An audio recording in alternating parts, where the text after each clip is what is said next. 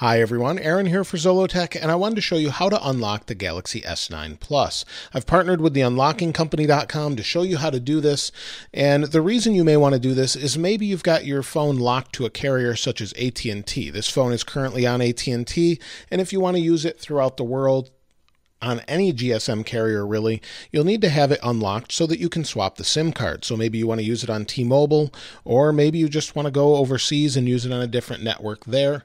You can do that as long as it's unlocked. So I wanted to show you how to do that. And first we need a little bit of information. We need the IMEI code. Now previously on the phone you could do star pound 06 pound, but that wouldn't really work on this phone. So we need to go into the settings. Once you're in the settings, scroll all the way down until you get to About This Phone. Under About Phone, it's right here. It says IMEI.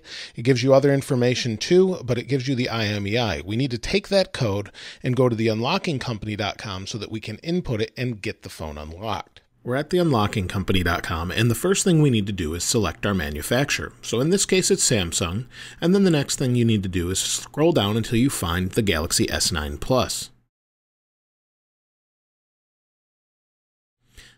Here it is. And then we'll click Unlock Now.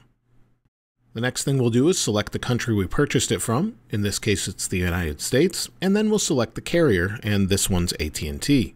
We'll click next. Now this price can vary depending on your carrier and country. Now what we'll do is we'll take the IMEI and place this in. That's the number we got earlier. We'll put this in here and then put our name and delivery email and then we'll click order now. Now the average delivery time says 1 to 72 hours. Sometimes it's very fast.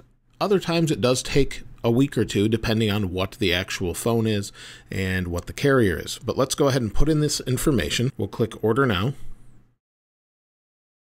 Then we'll just pay with PayPal and we'll receive the unlock code via email. Once you've gotten your email back with your new code for your phone to unlock it from the unlocking company, what you'll need to do is put that code into the phone to permanently unlock it. Now, in order to do that, you'll need to power off the phone. That's usually the easiest way. We'll just power it off here and then we'll pop the SIM card out and put in the SIM card that we'd like to use. That's the easiest way to put the code into the phone. So let's pop the SIM card out.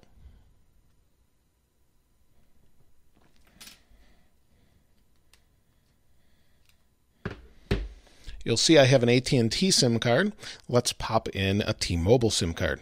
I've got the T-Mobile SIM card. Let's place it into the phone and boot the phone back up. Once the phone boots, it will immediately go to a screen that asks you to put in your PIN to unlock it from the network. And this will allow you to actually use your phone around the world permanently unlocked with any SIM card that's GSM. So we'll go ahead and put that PIN code in, but before you do that, be very careful because you'll only have 10 tries to do this or else your phone will permanently lock. So you don't want to do that. Just be very careful when you put in the number and let's do that now. Once you have your PIN code in, go ahead and hit unlock, and that will permanently unlock the phone. So let's do that now. After you've hit unlock, it will immediately say SIM network unlock successful. And then it goes back to the home screen, and we can now use it on any GSM carrier we want. So let's see if it works. So you'll see here I have 4G connectivity. You'll see the phone automatically jump to T-Mobile US LTE, from what I'm using. So let's see if it actually works. I don't have Wi-Fi on. We'll make sure it's, oh, I do have it on. Let's turn it off and make sure that we have connectivity. We do. And let's see if we can get to Zollotech.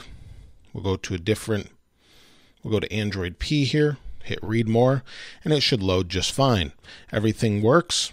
We can load the video and everything's working off of data. So that's really all there is to it. I'll leave a link to the unlocking company in the description below. Let me know your thoughts about them though in the comments below. If you haven't subscribed already, please subscribe and like. As always, thanks for watching. This is Aaron. I'll see you next time.